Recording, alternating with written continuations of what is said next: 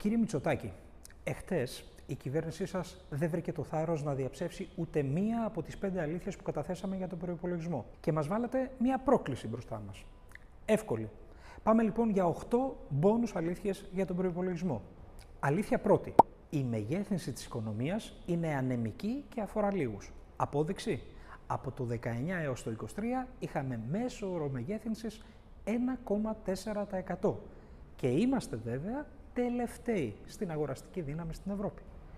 Αλήθεια δεύτερη, απασχόληση.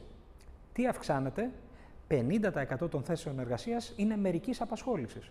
Και βεβαίως έχουμε ρεκόρ θανάτων στην εργασία, εργατικά δυστυχήματα, 70% αύξηση από το 2022 στο 2023. Αλήθεια τρίτη, επενδύσεις.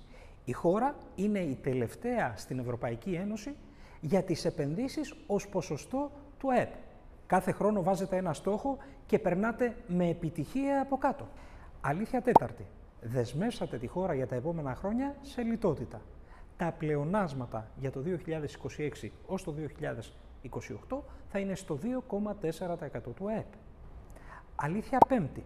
Τα πλεονάσματα για το 2025 υπολογίζονται στα 6 δισεκατομμύρια ευρώ.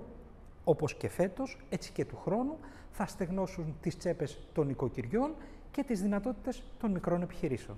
Αλήθεια έκτη.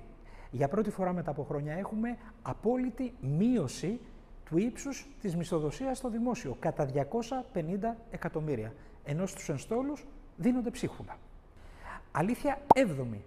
Το φέση της κυβέρνησης προς την αγορά έφτασε τα 2,5 δισεκατομμύρια και το 1 δισεκατομμύριο από αυτά αφορά τα νοσοκομεία.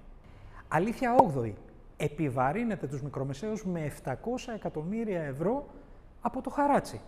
Ταυτόχρονα τους κοροϊδεύετε όταν τους απαλλάσσετε από το τέλος επιτιδεύματος που είναι μόνο 130 εκατομμύρια ευρώ. Κύριε Μητσοτάκη, 8 και 5 κάνει 13, όπως το ζητήσατε.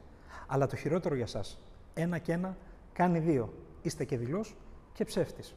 Απαντήστε με όποιο τρόπο επιλέξετε.